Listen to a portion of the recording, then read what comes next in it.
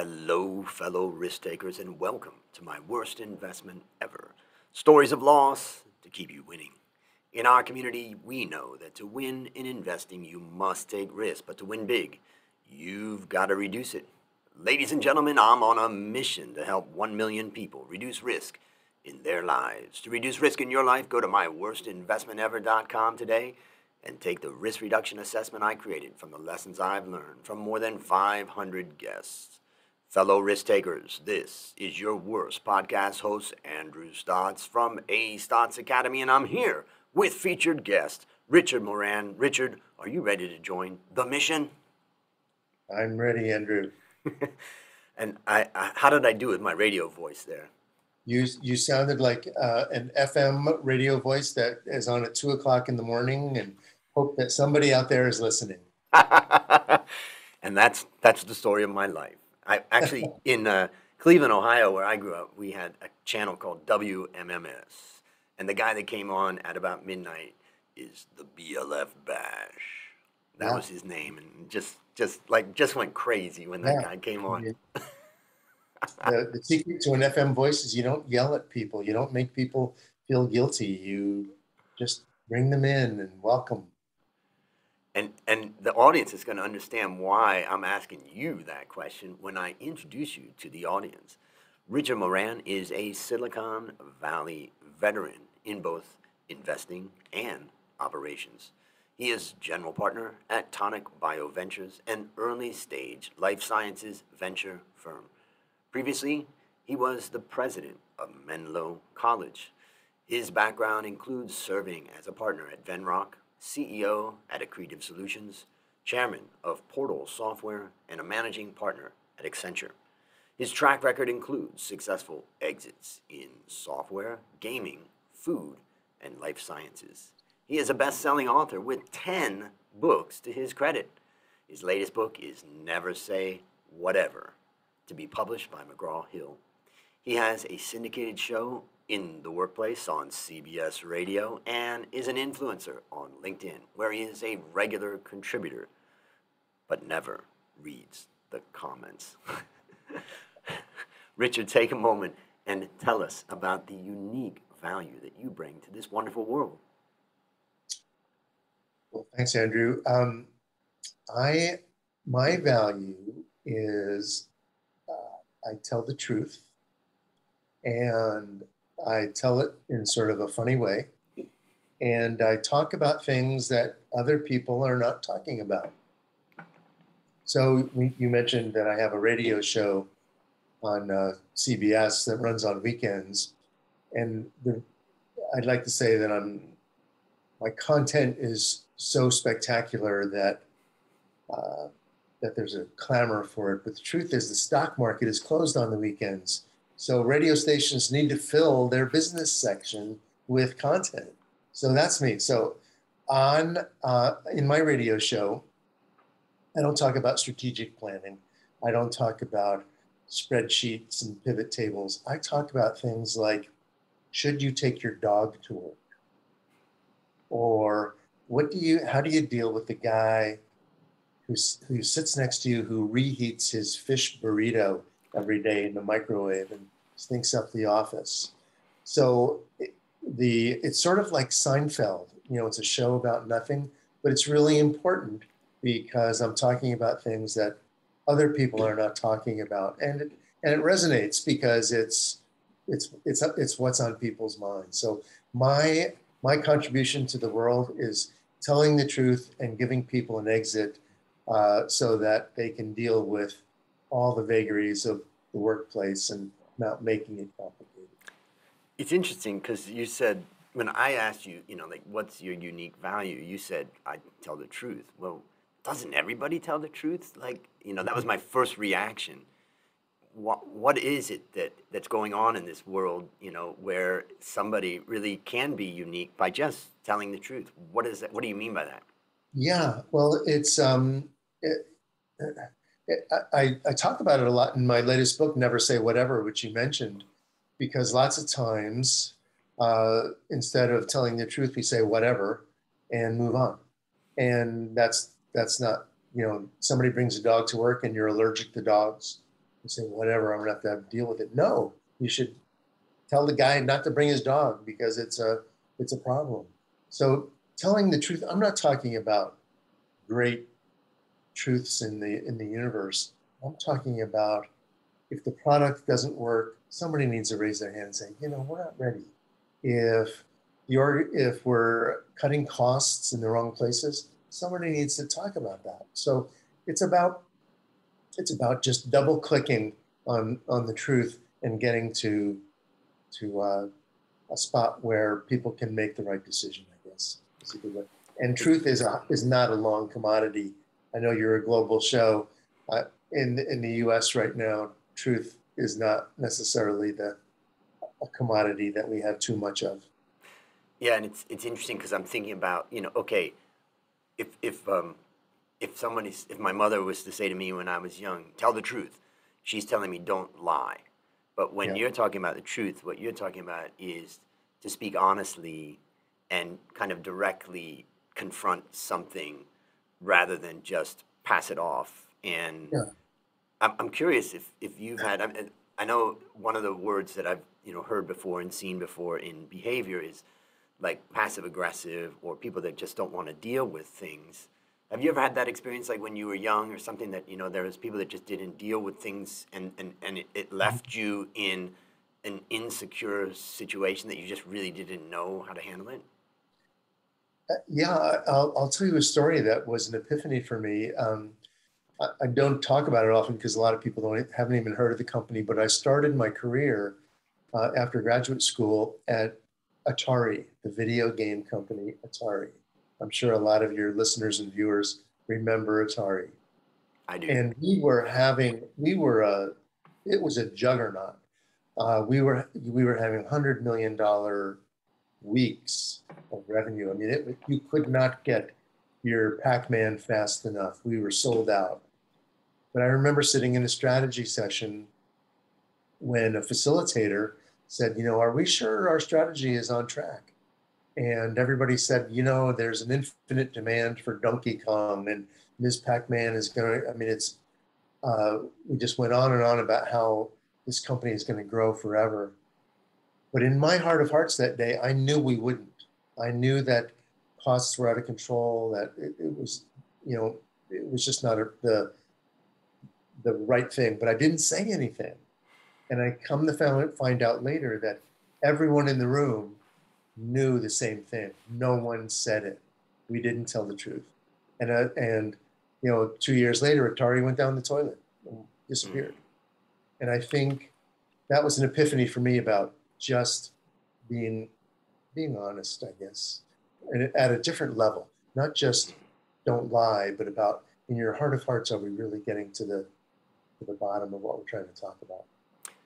It made me think of a story that I've, I've never told before about my own business, which we now have started, you know, about let's say nine years ago with my one of my best friends, a Thai man here, and he and I started this business, and we had great dreams, and I, it didn't it didn't work the way we planned, and what I did is I didn't look at the financials, uh, and here I am a financial guy, and yeah. I just didn't want to look at it. It was just scary that it was it was evidence that what I was doing wasn't working, and he was patient with me for a while, and you know we were able to fund it. It's not like we had a huge you know capital needs for the company, but there came a time where he just said, "This isn't going to work."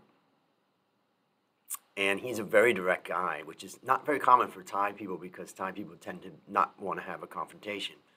Yeah. But he basically laid it on me very hard and he said, I, I'm, I have a wife and a kid, and I have to, you know, take care of my family, and this has to work, or else we gotta, we gotta end this.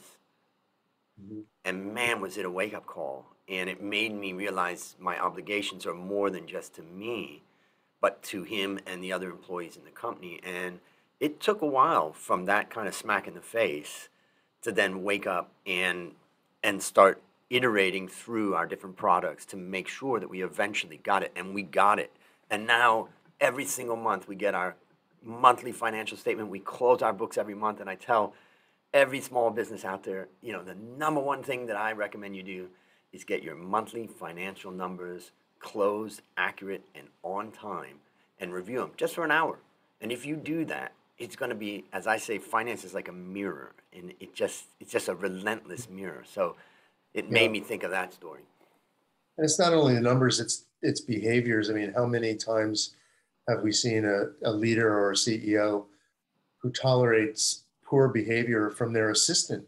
So, you know, I, I've seen CEOs who have no trouble firing 3,000 anonymous people in a different country, but they can't, they don't tell the truth about their own executive assistant who's a poor performer and will never fire him or her.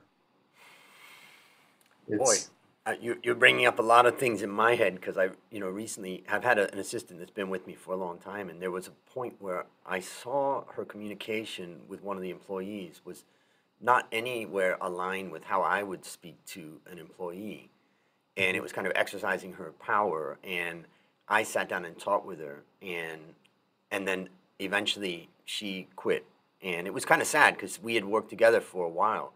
But I was like, you cannot speak to people that way. It's just not acceptable. Yeah. So that's interesting, and, and it's a great lesson for the people listening and viewing because watch the people around you. You know, it's important. They're communicating a message of who you are, and they're doing it through their actions. So that's that's also a good, Andrew, that's a good lesson out of my new book because you could have said, for, with your assistant, you could have said, whatever, you know, she's been with me for a long time. Maybe she doesn't do that all the time, but you didn't. You made a decision. And that's why I tell people never say whatever in work.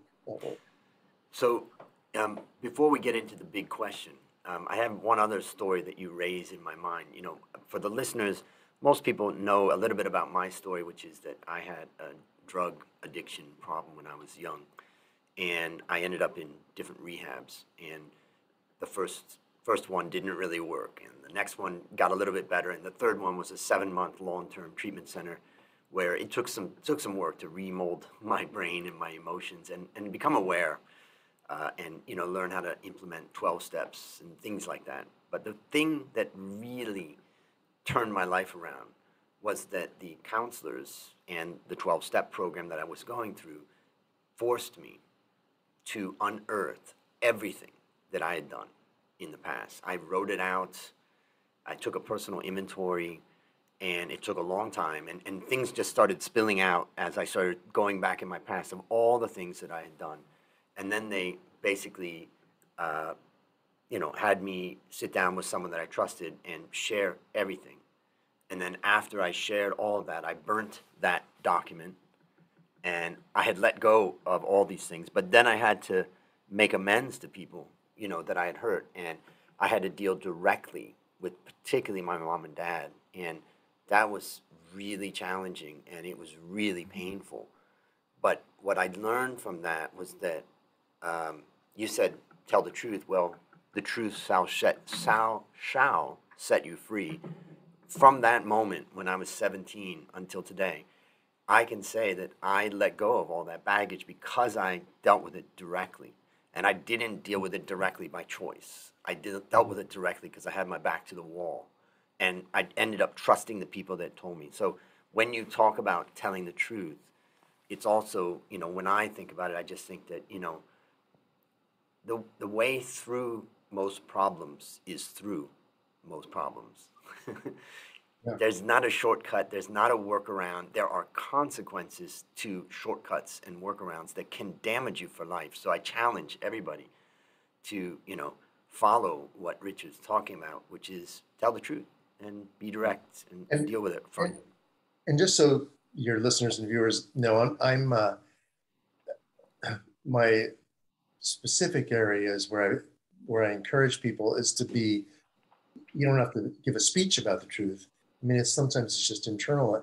You know, things like, and this is where, you know, I don't write great literature. I pose the question like, should you take the newspaper to the bathroom with you? No, you shouldn't. and you know that you shouldn't. tell yourself the truth. You shouldn't do that. So it's just things like that. That so I'm not talking about great decisions. I'm talking about being honest with yourself about how you will that will that help you be successful? No, it will not. It reminds me of my old friend when I was wearing the funkiest, weirdest clothes, and I don't didn't know anything about fashion. And he took me when I was a young guy in front of a mirror, and he said, "Look at yourself." and uh, I had a new respect for for clothing and, and Yeah, appearances. I mean, so that's I call people on on things like that. And nowadays, it's not. Don't take the newspaper. Don't take your mobile phone and talk on the phone when you're in the. Yeah. Yeah, especially if you're in a billable time environment. Yes. Yeah. There you go. Well, now Yeah. it's time to share your worst investment ever. And since no one goes into their worst investment thinking it will be, tell us a bit about the circumstance leading up to, and then tell us your story. Sure. Yeah. Um, well, the story actually uh, plays is consistent with what we've been talking about so far. As a venture capitalist uh, with a big firm, I uh, was the the guy who made decisions about media and entertainment, which at the time was all about video games, was about games. And for those of you who know the gaming industry, it's it's all about hits. It's about rock and roll. I mean, it's like you want Eric Clapton, and we had uh, a, a young man come in who had been very successful, and uh, wanted to start a new company and needed six million dollars to start it. And one of the things that people talk about in investing, especially in venture capital, is pattern recognition, as in past performance is the best indicator of future performance. But in rock and roll, I'm not so sure. And in gaming, I'm not so sure. So I was blind a little bit by his success story. And we, we invested, we gave him $6 million to build this company. Uh, and it was all hinged on him. He, he, his, he was the core of this company. And shortly after, a couple months afterwards, at a trade show, there's a lot of tech trade shows, he uh, um, behaved inappropriately. He was smoking dope with customers in a spot where it's illegal. He went off with a, a young woman that was unclear what that relationship was, although we knew he was married. And he did it all in front of employees.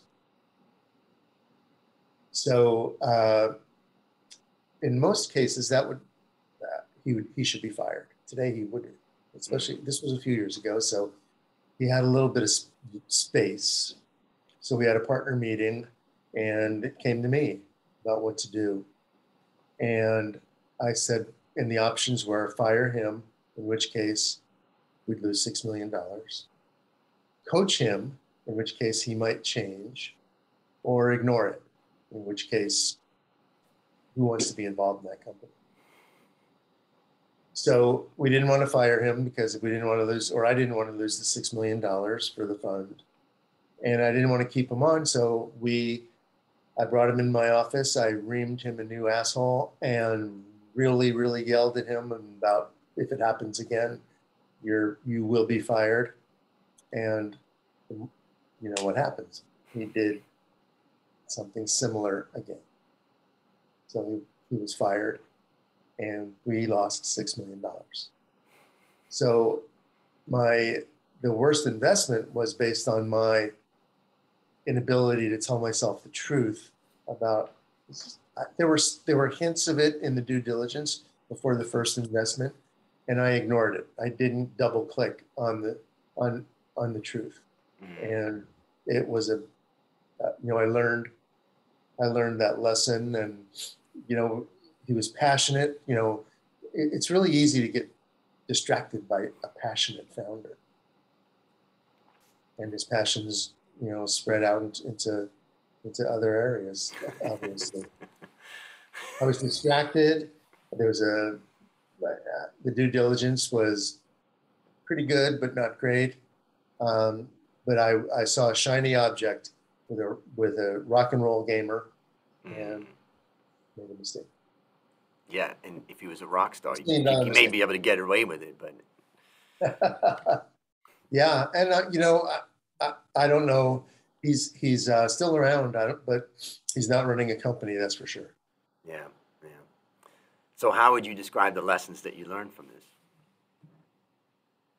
Well, I, I was distracted by a shiny object, him, uh, I was, I didn't tell myself the in my heart of hearts. I thought it wasn't quite right. It was, it was never quite right.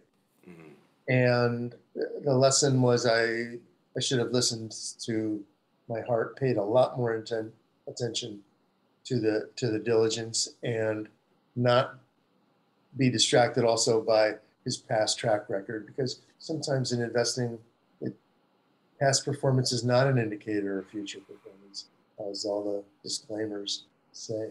Mm. Uh, so that lots of lessons, and uh, uh, and and I've I've now learned also that, and I still am making investments, still work with founders. I am, I'm only working with people that I want to I, that I want to work with, mm. that I want to hang around with, that I want to have dinner with, that I want to spend time with. And he was never in that category. Yeah.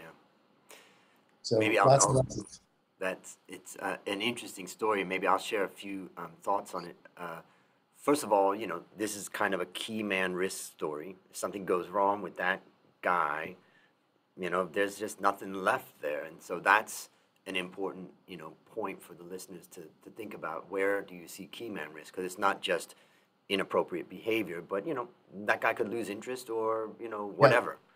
Yeah. And so this is a key man risk story in a lot of ways. Um, and then I like I wrote down something that you wrote, which is fire, coach, ignore. and you know, I think there's plenty of people that may ignore it, particularly when real money is on the line. Like, how can I let yeah. this go? I can't let yeah. six million bucks go, and maybe he'll change if I talk to him. You know, I mean, we can all change, but you'll realize the, the older we get too, we realize how hard it is to change. You know. Yeah. Yeah. Um, but your your key man point is very is very important, and it plays true today. I mean, there's a lot of well, Elon Musk. I mean, there's a lot of key man that are some of them are loose in the socket.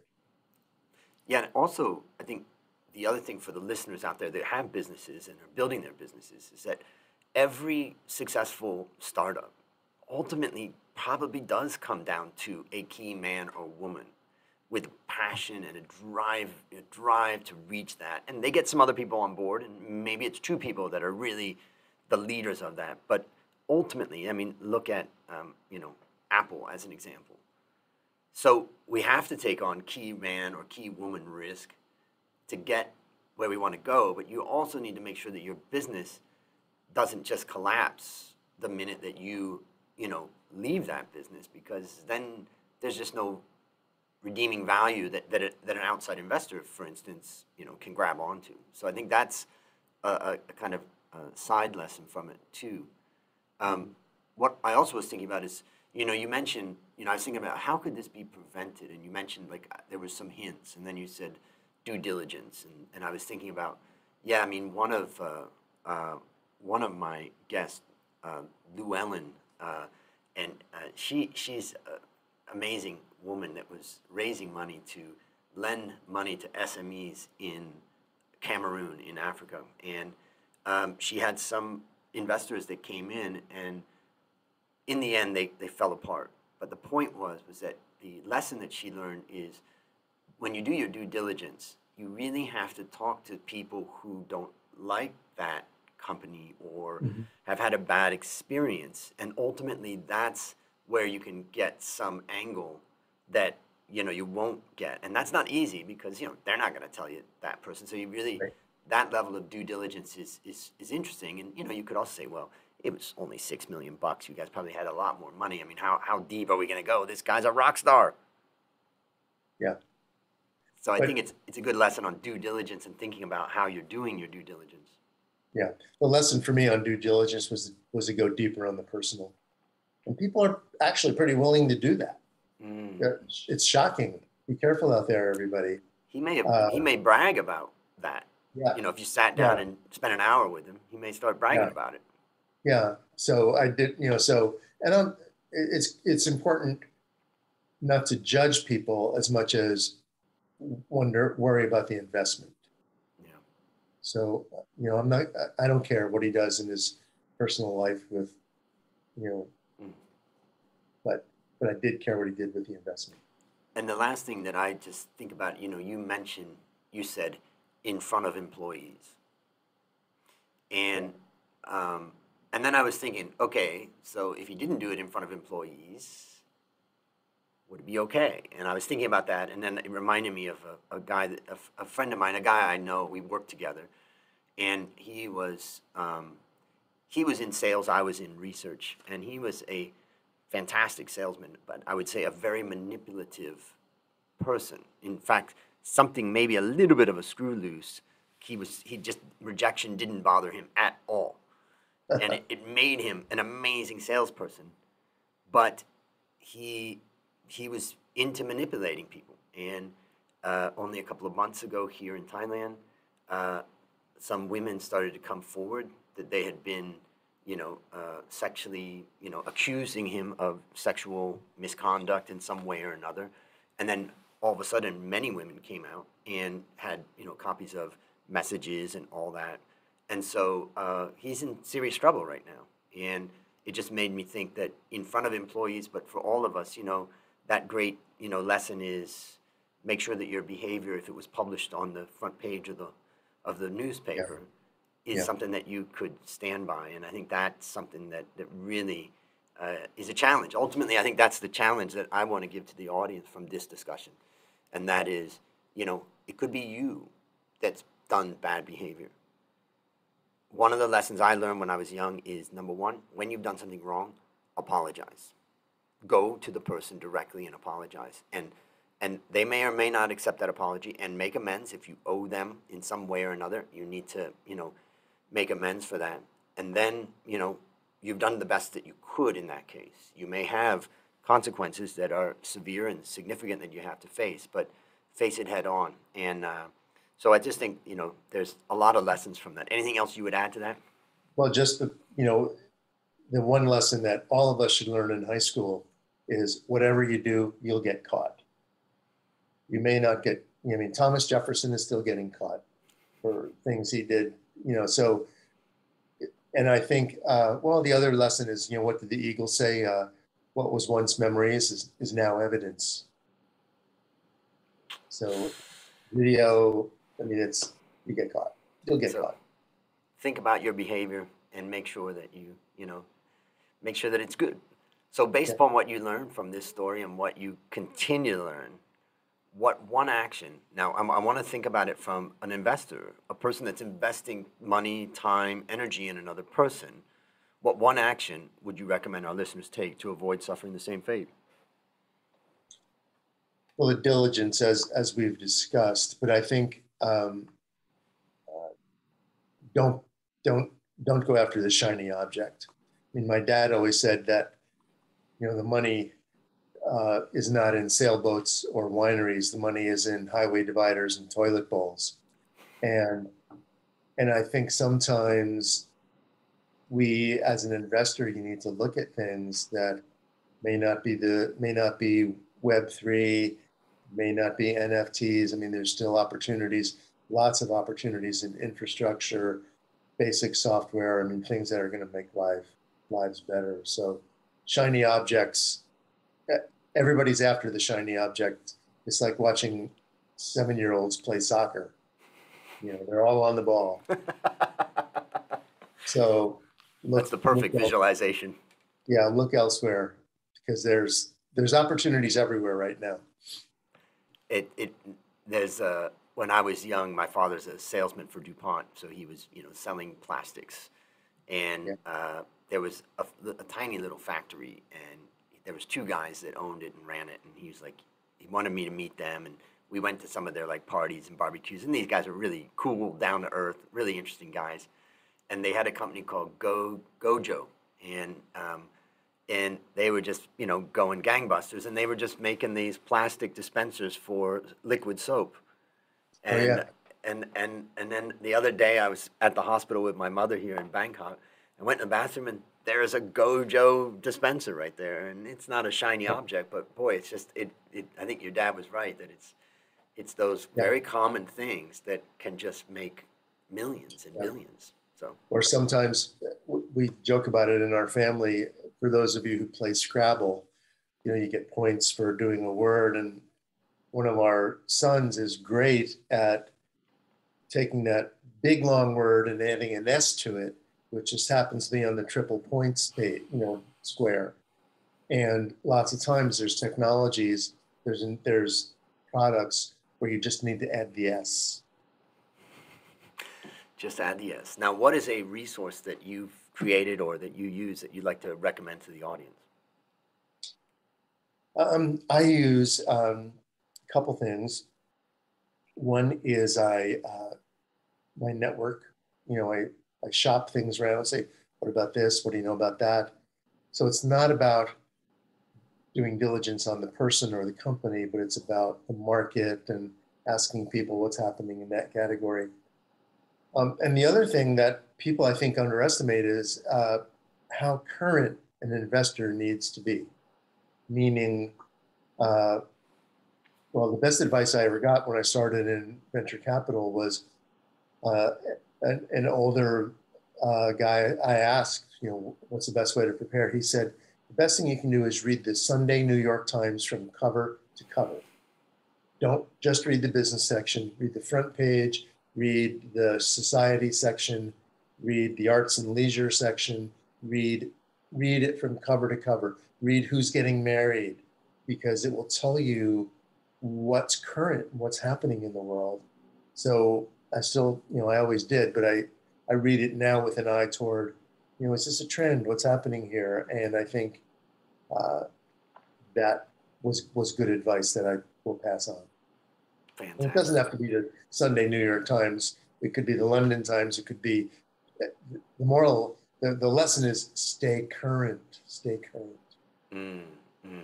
And it sounds also like stay current and stay broad. Like look at the yeah lots of different stuff that's going on from weddings to international politics to you know whatever. Right look at fashion, at food, at politics. I mean, read it all. No, you have to be smart. Yeah, the best investors I know are Renaissance people, and they are they are well read, and they're actually very good writers. It's uh, as a financial analyst, my job is to try to predict the future and do it in such a way that we would invest on that. You know, that we could make money from that. And if you're wrong, you know, it's trouble. And recently, I wrote a, a, quarterly strategy that I sent out to my clients and presented to about uh, my a small group of my clients. But what I told them is that um, I said I think World War III just happened, and it was U.S. against Europe. And by U.S. getting Europe to sever the gas and oil ties with Russia, it is a crushing blow for Europe that does not have natural resources enough to really survive. Right. And then I said, and World War IV, and I'm using that euphemistically, hopefully we're not going to have another war, is going to be in Africa, where we now have serious risk of hundreds, possibly 100 million people going into starvation and famine due to the war. And China has invested a tremendous amount in Africa. And all of a sudden, America's going to wake up to you've just got 100 million people in starvation demanding, you know, aid, and you've got your, what America calls its number one adversary now, uh, deeply invested there, and you're not, except through military. What are you going to do? And that's going to be an interesting one. So keeping a broad perspective is critical. Last question. What is your number one goal for the next 12 months? Uh, um, my number one goal is to stay healthy, but continue on this, continue to be an evangelist for common sense in the workplace. Simple as that. Common sense in the workplace. That is my platform and I'm an evangelist, an evangelist for that. Is that your tagline, or? It should be. I think uh, so. Common sense in the workplace. Yeah. I love it. Well, listeners, there you have it. Another story of laws to keep you winning. If you haven't yet taken the risk reduction assessment, I challenge you to go to myworstinvestmentever.com right now and start building wealth the easy way by reducing risk. As we conclude, Richard, I want to thank you again for joining our mission. And on behalf of A Stotz Academy, I hereby award you alumni status for turning your worst investment ever into your best teaching moment. Do you have any parting words for the audience? Just common sense, common sense in the workplace. Fantastic. And that's a wrap on another great story to help us create, grow, and protect our well. Fellow risk takers, let's celebrate that today we added one more person to our mission to help 1 million people reduce risk in their lives. This is your worst podcast host, Andrew Stotz, saying, I'll see you on the upside.